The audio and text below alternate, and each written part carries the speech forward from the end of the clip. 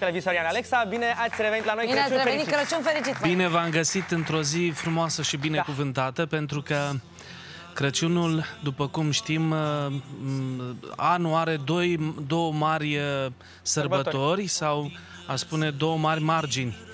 Uh, Momente în care m, noi ne mișcăm așa cu toată familia după noi, Paștele între și Crăciun. Paști și Crăciun.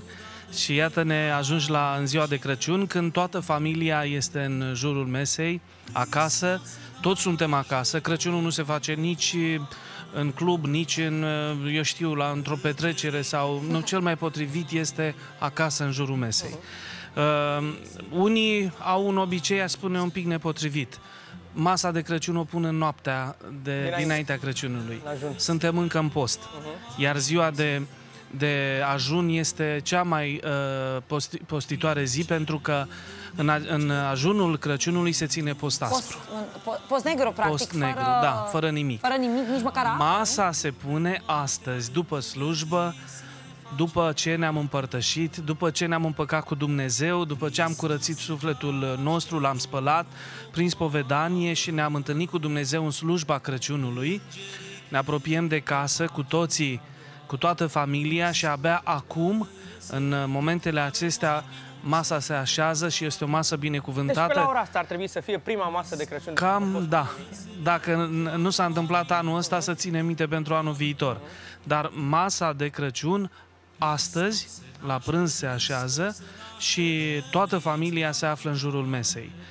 Tot astăzi se dezleagă și postul, postul Crăciunului. În trecut, masa nu începea cu porcul, cum e obiceiul românului astăzi, ci începea cu mâncare de pește, o mâncare mai ușoară, care să-l ajute pe postitor Am să tranziția. reintre, sigur, să treacă de la m, vegetale la mâncare de, de dulce. De fapt, ce este Crăciunul? Că vorbim despre atmosfera atât de frumoasă, de, de, de familie, de mâncare, de miros de cozonac și brad, însă uh, un Crăciun este complet dacă ne întoarcem la momentul primordi- primordial al Crăciunului. Cum a început? Mhm. Nu? Ei, a început într-un loc destul de fierbinte, a spune Crăciunul, pentru că astăzi, în locul acela, încă nu e pace. Da. Și n-a fost pace niciodată. Sub măslini încă nu e pace. Și sub măslini spun pentru că la Betleem, acum 2000 de ani, într-o peșteră sărăcăcioasă venea pe pământ împăratul Universului sau uh, Fiul lui Dumnezeu, care a coborât pe pământ să se facă cum sunt oamenii, ca să-i ia pe oameni din căderea lor și să-i întoarcă înapoi la Tatăl Ceresc în împărăția lui Dumnezeu. Uh, Practic, uh, nașterea lui Hristos ne-l face din nou pe Dumnezeu Tată. Dacă până la nașterea lui Hristos Dumnezeu era stăpânul, judecătorul, era cel care mai trimitea câte o pedeapsă, odată cu nașterea lui Hristos pe pământ, în Betleem, Dumnezeu ne devine Tată. De aceea El ne învață să spunem o rugăciune atât de frumoasă pe care astăzi la masă e potrivit să o spunem. Nu? Tatăl Tatăl nostru nostru. care le ești în ceruri. Și așa începe masa de Crăciun cu rugăciunea pe care însuși Hristos ne-a învățat să o spunem, arătându-ne prin ea că Dumnezeu nu este nici judecătorul, nici stăpânul, nici cel care ne pedepsește, ci este Tatăl. Și ni-l prezintă, ni-l arată ca pe un tată. Hristos a născut acolo în peștera Betleemului. Astăzi acolo se află o biserică atât de frumoasă, e hram astăzi la Betleem. Uh, acolo unde s-a născut se află o stea frumoasă din argint chiar pe locul nașterii și astăzi lumea merge să se închine la acea stea, locul unde chiar uh, a- s-a născut Hristos de către Maica sa. Uh, Tot ziua de Crăciun este foarte frumoasă și bine primită dacă în urechile noastre se aud colindele. Colindele Ce e un frumoase. Crăciun fără colinde? Colindele acestea atât de frumoase pe care poporul român le-a adus la nivel de artă. Nu o să le auziți nicăieri.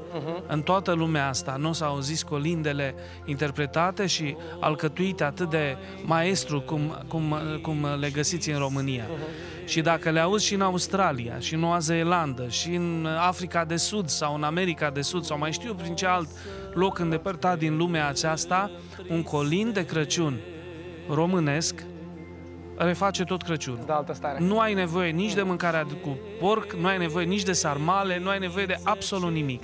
Dacă te afli în orice colț din lumea asta, în ziua de Crăciun și asculți un colind românesc, autentic, guști din toată, tot Crăciunul cu toate aromele se revarsă peste tine. Nu-i lipsește Da, e, nimic. exact. Un Da, are colind? mare dreptate. Da, un colind de complet. Are de toate. Corect.